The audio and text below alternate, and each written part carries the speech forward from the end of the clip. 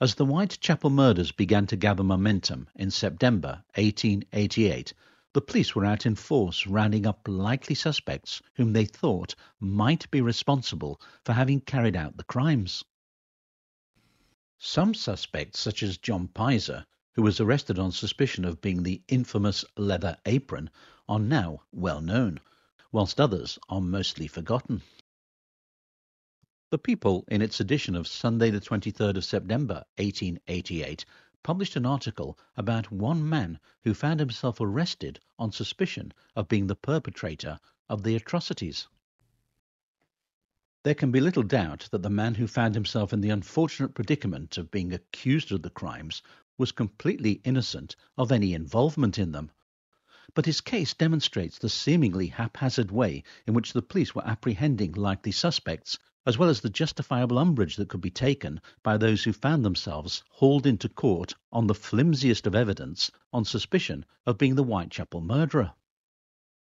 The article read At Woolwich Police Court on Monday, a labourer by the name of Edward Quinn, aged 35, was placed in the dock before Mr. Fenwick, charged nominally with being drunk at the police station. His face and hands were much bruised, and when he was charged, they were stained with blood.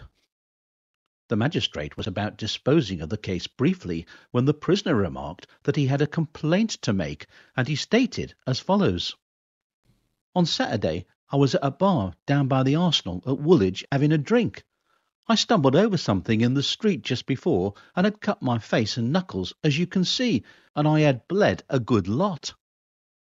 While I was at the bar, a big tall man came in and stood beside me and looked at me. He got me in tow and gave me some beer and tobacco, and then he said, I mean to charge you with the Whitechapel murders. I thought it was a joke, and I laughed, but he said he was serious, and he pointed to the blood about me. I said, Nonsense! Is that all the clue you have got? He then dropped the subject, and he took me for a walk until we got to the police station, where he charged me with the Whitechapel murders. Were you not drunk? asked Mr. Fenwick, the magistrate. Most certainly not, sir, replied Quinn. You will be remanded until tomorrow, said Mr. Fenwick. This is rather rough, protested Quinn.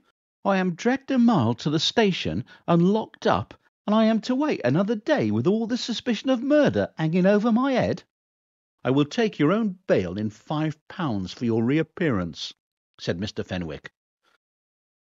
I object to the whole thing, said Quinn. Me murder a woman? I couldn't even murder a cat. This outburst brought roars of laughter from the court, and Quinn was released.